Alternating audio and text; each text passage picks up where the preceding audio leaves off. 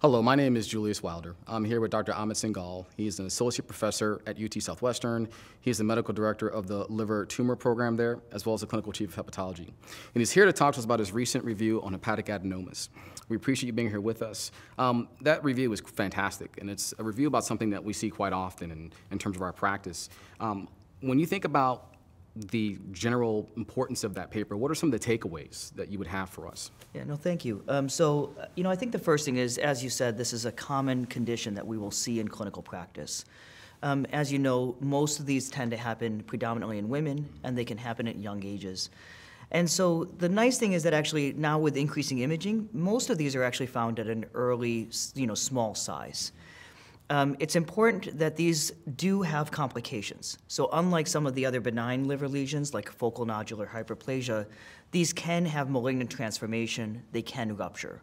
So these liver lesions do need to be followed because of this small but present risk of complications. So even though they're small, it's important to also remember that these tend to be hormone responsive. Mm -hmm. So one of the first things you want to do when you see these patients is to ask if they're on oral contraceptives. And if so, the first step in management is to stop the oral contraceptives and then simply follow that patient. There are some patients that may actually need more aggressive management and may need surgical resection. There's some groups, such as men, who actually are more likely to have beta catenin mutated adenomas, which have a higher risk of malignant transformation. And so, if you find an adenoma in a man, you're more likely to do early surgical resection.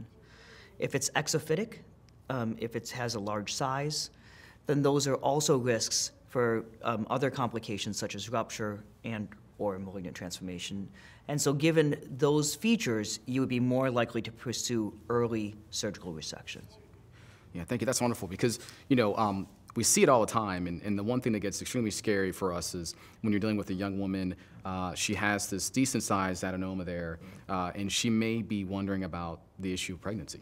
Yeah. Um, and, and she may or may not at the time be on OCPs. And so, you know, when you see that in your, in your practice, how do you approach those patients? Yeah, it's, it's a great question because you're right. I mean, once again, because these tend to occur in young females, this is something that if you see, if you have patients with adenomas, this is something that you really need to counsel the patient on in terms of the risk of significant growth that can be that can happen in the setting of pregnancy.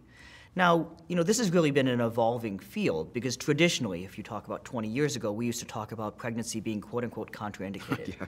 And we really moved away from that concept to more of a concept of shared decision making, informing your patients and discussing about the risks. And what you need to do is you need to talk about talk to your patients so they understand that there is a risk of um, actual growth, which may increase the risk of complications. And when you talk to your patients, you can even talk about management styles such as resecting before actually becoming pregnant or close observation during pregnancy. But I think that the big thing, and I think that's been the major shift over time, is that we should not be telling our patients they cannot become pregnant. It really is more so discussing the risks and discussing possible management strategies. Well, thank you so much, Dr. Singal, for that, that very informative uh, discussion. That's so helpful on an issue that we see all the time. Thank and thank you for joining us. For more information, please visit cldlearning.com.